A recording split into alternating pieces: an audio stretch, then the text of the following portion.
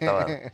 Me quitaron un tumor que se llamaba meningioma, como una bola de ping-pong. Y. ¡Ah!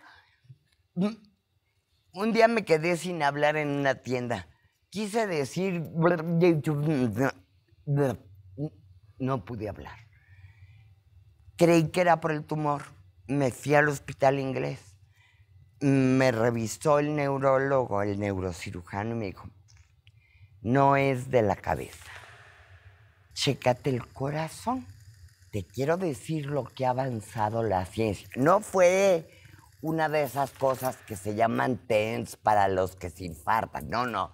Entraron al corazón y me pusieron dos parches.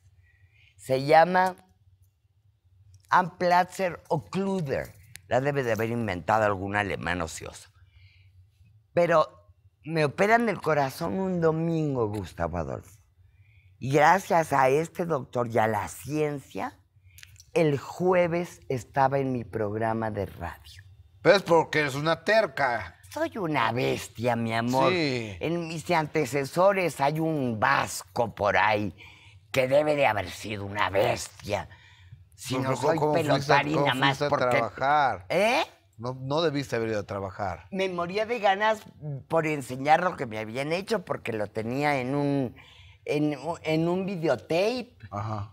Según informes médicos que tengo yo, ese corazón aguanta otros 72 años. Así que. Mira lo que... a- a- a- a- así, Yo- así- espérate, escúchame, por favor. A ver, dime. Así que te voy a encargar otros 72 años. Bueno. Que nos dures, por favor. Pero- que nos mi- dures con esa alegría, que nos dures con esa memoria, que nos dures con esa chispa y sobre todo con ese corazón. Gracias, mi amor, por estar aquí. A ti, papito, ¿me puedo levantar a besarte o estropeo No, la yo- toma? No, no, no. Tú puedes hacer lo que esté a ti. Se te dé la gana, porque es tu programa. El minuto que cambió mi destino. Sábados 9 pm.